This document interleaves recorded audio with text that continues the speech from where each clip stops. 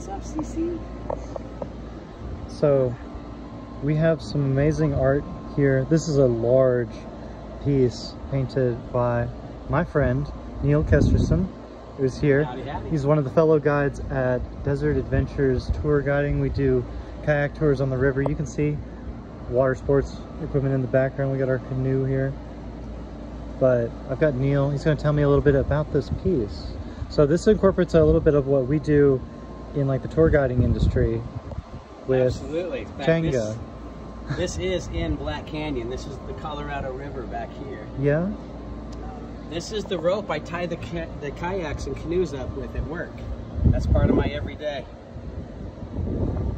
What's the... Uh, This is a tamarisk that I sit under for lunch a lot of times on the river. Very familiar with the tamarisk plants, yeah. And this was representing my life at the time.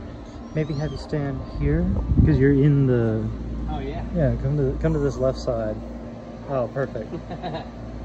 and uh, cardboard boxes oftentimes represent me in my paintings. It's a recurring theme. Yeah. Um, yeah, so this is called balance. So this was at a precarious time in my life trying to put the pieces back together. Some of the pieces are like washed away down there on the beach. It's still standing though. Right? Very Notice important. The Jenga blocks blend into the trunk itself. See that, like in the bottom ones? What do you think? Is this a particular spot in Black Canyon? It is in my head. It doesn't have to be, but I know where this spot is. Yeah. Indeed. I feel like I know where this spot is too. Across from mile marker 56. Something like that. Yeah. And there's some petroglyphs and stuff there in the rocks. This back here I did with a palette knife actually. Lots Kind of an scraping. Yeah. And then the rest of it was more detailed. And I love trying to combine different styles. The yellows, the reds, and the greens in the tree. Yeah. What are the uh, the significance of the blue blocks in the Jenga? Uh, oftentimes, my wife, uh, the turquoise will oftentimes represent her in my paintings. Not always, Yeah. but there are times where that represents her. So I was rebuilding my life, she's helped me find some balance in there, put things back together. A little bit windy in Vegas here, but yeah. Any good Jenga stack has to withstand the wind, Right? and We yours played has. some fun Jenga yesterday. We did. Beer Zombies has full-size adult Jenga and beer. It's a About great tall. combination. Made It's a great combination.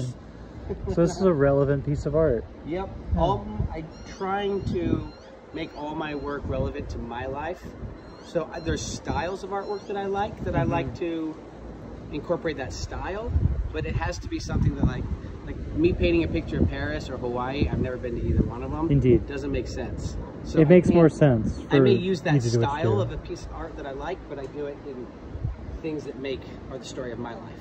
This piece really, is that's all I know. right? beautiful. So this is, how much are you selling this one for? You know, I'd have to look it up, but if anybody's interested, they are more than welcome to contact me. And Neil has a... I do have a price sheet, I just don't have it on me. indeed,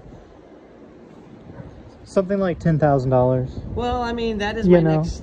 The next Five goal. thousand is my next goal. Ten thousand the goal after that. I've gotten really close. I'd like to crest that five thousand dollar mark. I'd let it go for that. for I think that would be really cool. Yeah. So I'll link Neil in the description down below. Check out his Instagram. That's the best way to contact him. Yep, just Neil Kesterson. Also on Facebook with me posting with Desert Adventure stuff. Indeed. So like our kayaking life is all intertwined in our yeah. life.